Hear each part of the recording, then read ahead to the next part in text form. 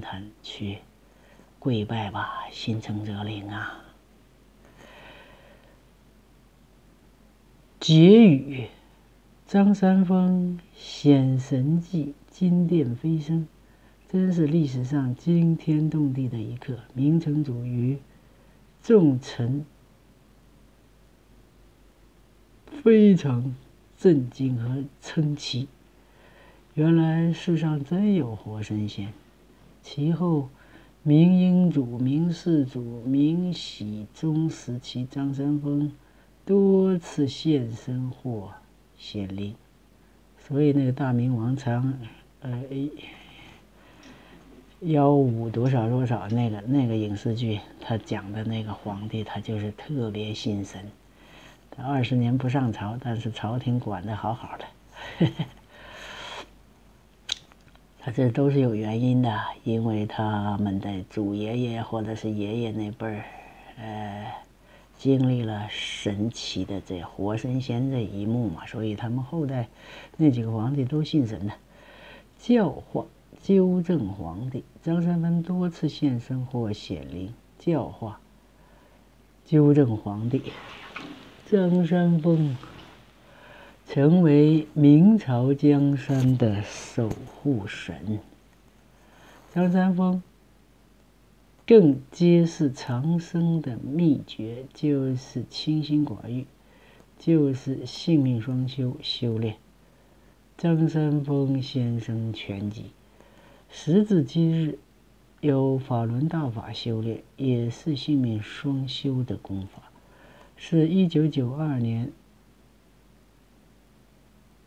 李洪志大师所弘传，每个人都有修炼之心，因为人有元神，来自于天国。修炼就是返本归真，返回人的真本性，回归天国。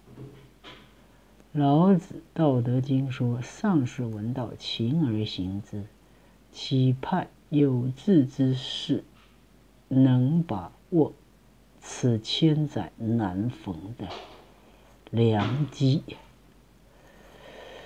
嗯哼，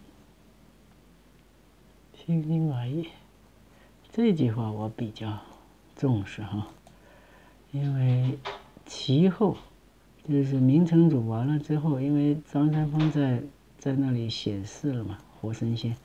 所有的大臣都惊叹不已，明成祖朱棣也是亲眼看到了，更坚信神了。所以他那个故宫啊，还有北京的城郭呀、城市的布局，都是按照双龙的那种布局。他们现在发现石景山那边是龙的另外一头，然后什么什么的，去看好多文章。其后。我我重视的是这句话。明成祖完了之后的他的儿子、孙子、重孙、玄孙，都时期执政时期当皇帝时期，都是张三丰多次现身或显灵，教化、纠正皇帝。张三丰成为明朝江山的守护神。张三丰更揭示长生的秘诀，就是清心寡欲，就是性命双修的修炼。我今天看那个，为什么现在大家好像都是告诉告诉他，要么解体中共，要么走崇祯的路哈。没路可走了，你可不是走崇祯的路吗？我不知道为什么他们这样说，可能有原因的吧，有原因的，因为习近平这样搞真的是。再看看，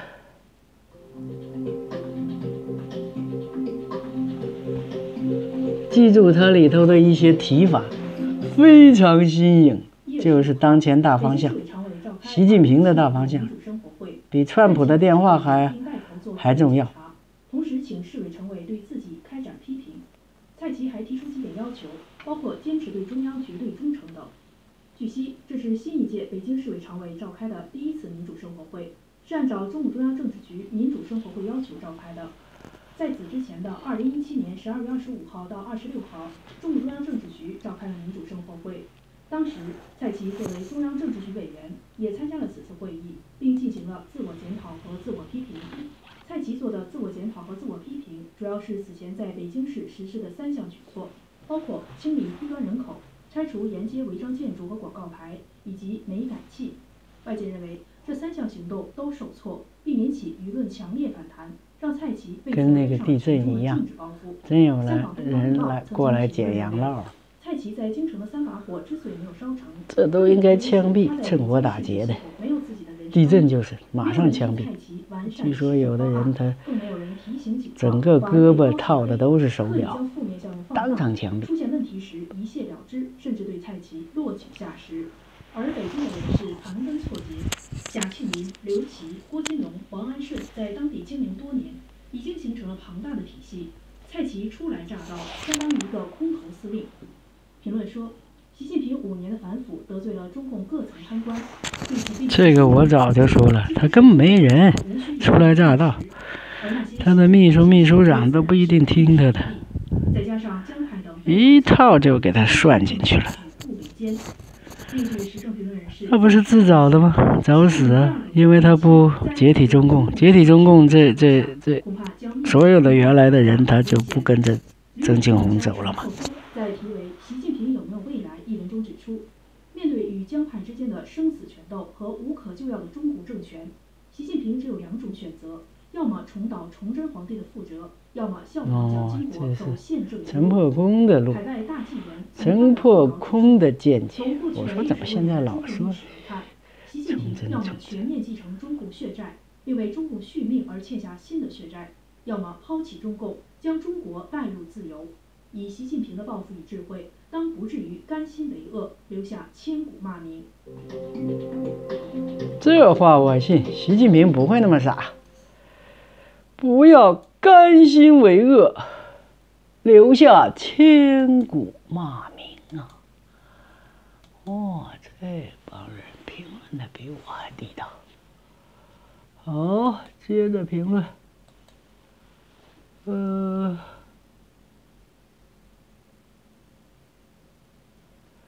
三把火有玄机，这个我早就说了，那是江征的人干的，就要把你搞下台嘛。让你跟着他们转，要不然那个假照片为什么会出来？曾庆红跟习近平照照相，他他曾庆红他就是想想大家都这么认为嘛。习近平在他手里头，你们别想我的特务组织，别想不听我的啊，跟习近平跑。你看看，我跟他一起照相了，你们这些。特务水军，我的联络网、关系网，老老实实听老首长的话啊！他就是这个意思，所以他照个相，让大家不要听习近平的，还听他的。他一听他的，不就完了？全都整习近平，把蔡奇和那个习近平整的一愣一愣的。三把火，蔡奇发话了。北京三把火受挫有玄机，市委都是他的人，他是空降部队，所以玩不转呢。就是给他个下马威，叫你当市长，你当啊，就这意思。可他就上当了呢，傻不傻？借这事儿，呃，把民心搞得都来感恩，像慕尼黑的那个低端人口住房政策那样，多好，他不做呀。慕尼黑凡是六百欧元以下的，呃，居民都有这个商品救济房，呃，社会救济房，比商品房便宜一半儿，二分之一的价格让你住，然后呢，你要去打工，一个不不需要文凭的工，然后你慢慢的二十年还清，天上人间。头牌花魁被杀，这都惦记好几次了。赵子阳自知情况不好，弥留之际，泪如泉涌。范长龙捅刀刘源，习近平痛失军中臂膀，六十七岁，刘源。嗯，我看着，刘源是一九五一年生人，六十七岁，绝对能大干一场。习近平聪明，就让刘源当副主席，保证全国的军队他都给你玩的好好的。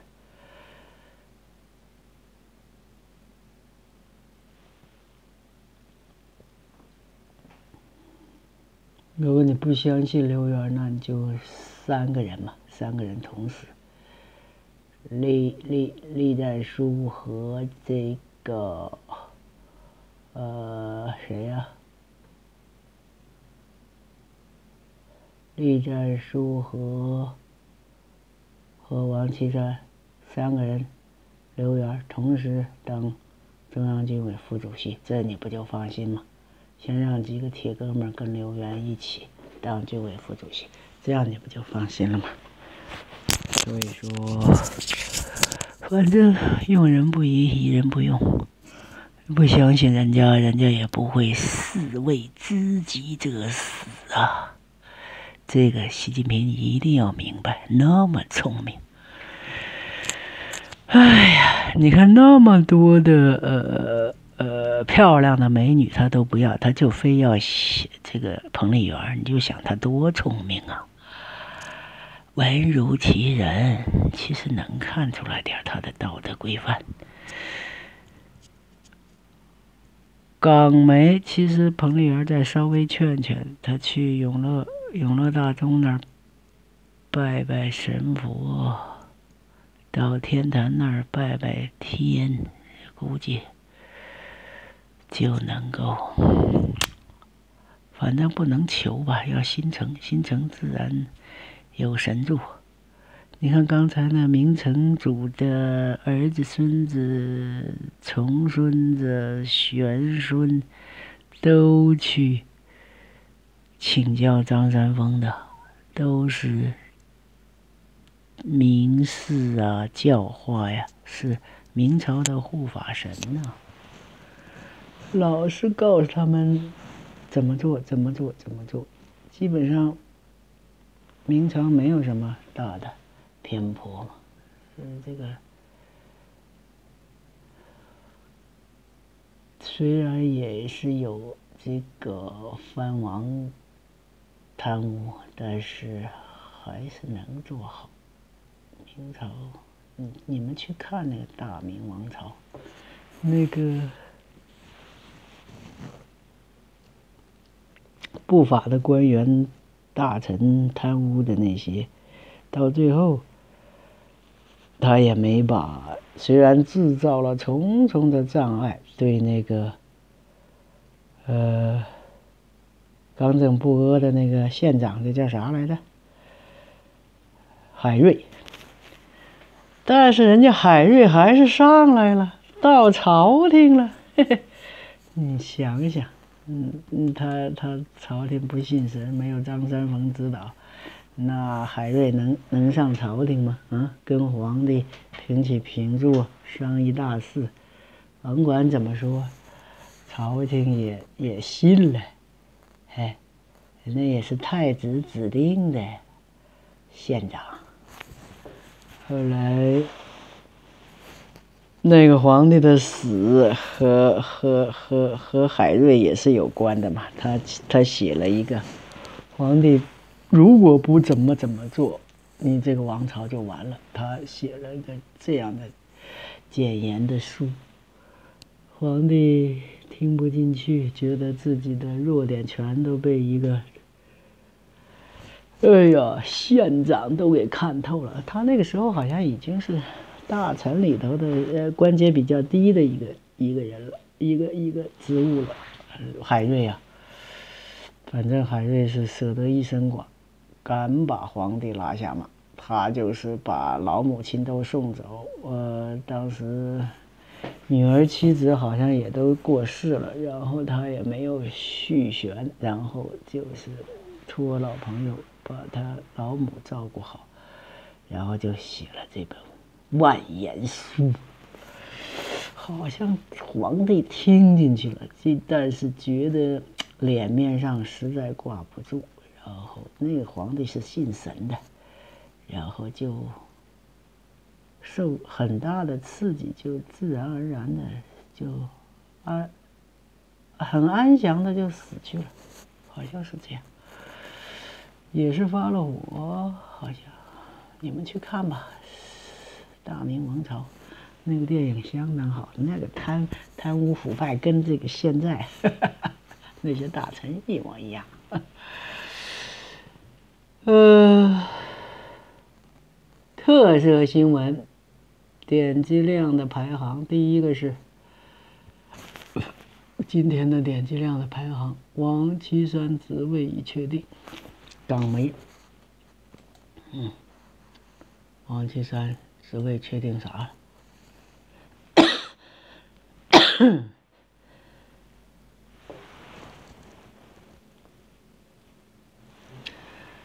王岐山职位已确定。十九号，北京召开的二中全会上决定政府高层职位任命，也会在二中全会上决定。一般不会正式宣布这些人事任命。前中纪委王岐山将出任。中共国家副主席跟杨尚昆差不多，啊，那其实就是个顾问的那个职务了，顾得来就问，顾不来就不问。除了出任国家副主席之外，王岐山还可能还会获准列席政治局常委会议。如果真是这样，那将是对中国和亚洲政治礼数的一大让步。这样做，他可以列席会议，虽然也许没有表决权，但却能参加会议，并有发言权。反腐前反腐总管王岐山留在习近平身边，可以让他继续专心反腐。他们说，王岐山留在权力核心，可能也会受到外国人和外国工商界的欢迎。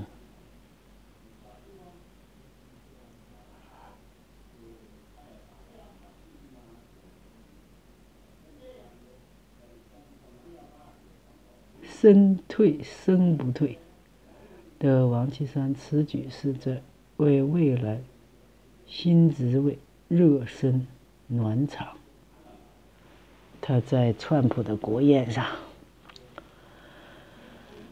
他们说是热身暖场啊，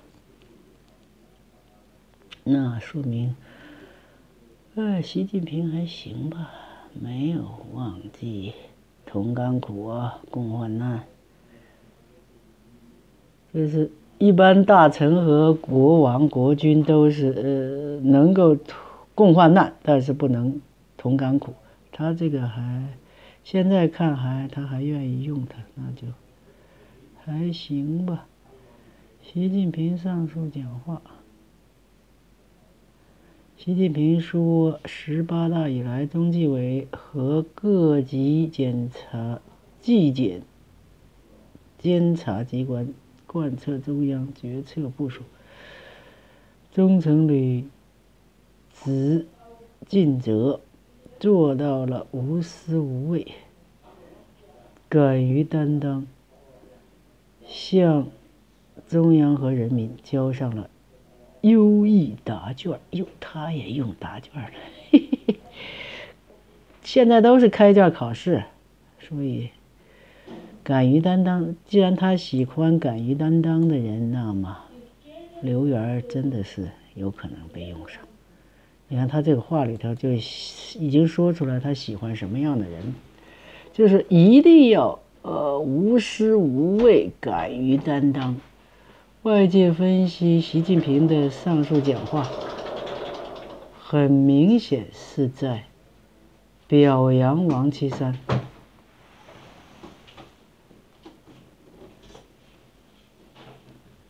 轻松轻松，看看我们家窗外，呃呵，像不像天安门城楼？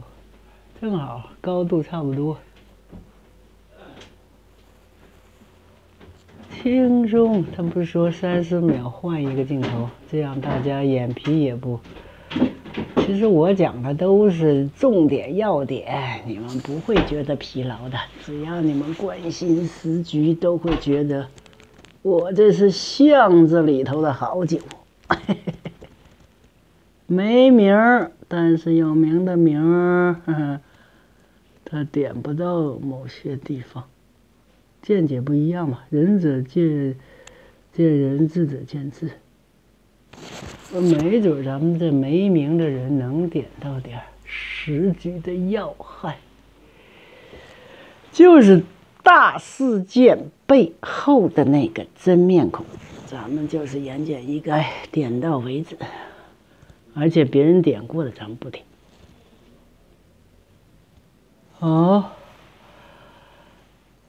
对福建回归是今天天下第一内参动态网特色新闻的全球点击量排行第三顺位的，第二顺位的是毕福剑回归央视，传星光大道更换主持，呃，回就回去呗，其实。这这种人也多的是嘛，就是敢说真话。其实下面谁不唱点小调针砭时别呀？他那个根本真的不算啥，有点小题大做了。哎呀，要不是薄熙来执政，你把他弄下去还有情可原。这个这个。习近平执政都知道老毛怎么迫害他老爸的，还这样就不太对劲儿。盛传出事，范长龙军报露面，引猜测。这军报都是他的人，弄个照片算啥呀？算啥露面呢？懂不懂这些行规？军内有军内的行。就是就是那个游戏规则，他他都是他的人，他是军委第一副主席呀，除了习近平都听他的，一人之下万人之上，所以这个这个呃呃呃呃军报上露个面算啥呀？弄个老照片，或者记者到我们家来拍一下，然后给登出去。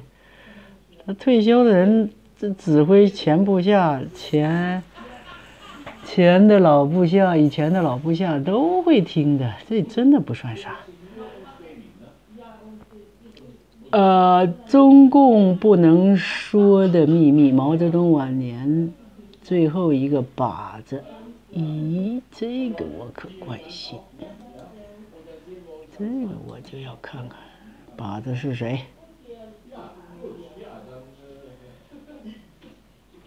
帮凶周恩来，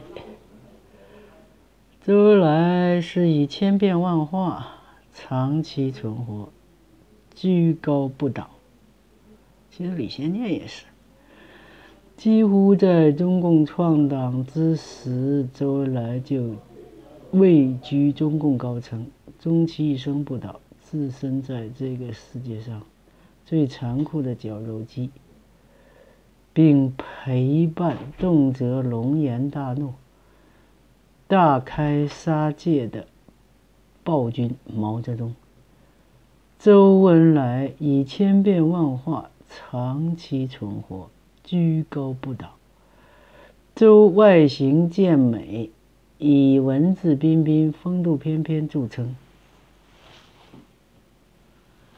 哎，这跟梵高一样嘛，就是力或者是邪灵想让谁完成他在人间的旨旨意，实施他的灭全人类的这个计划，他当然要把这个人造就的又好看又潇洒，又英俊又健美又文质彬彬。你像梵高，他为了完成就旧斯利的计划，你看他必须从小是神童。画家方面的，这样他成年了以后才是这个领域的泰斗，这样他才能把全人类。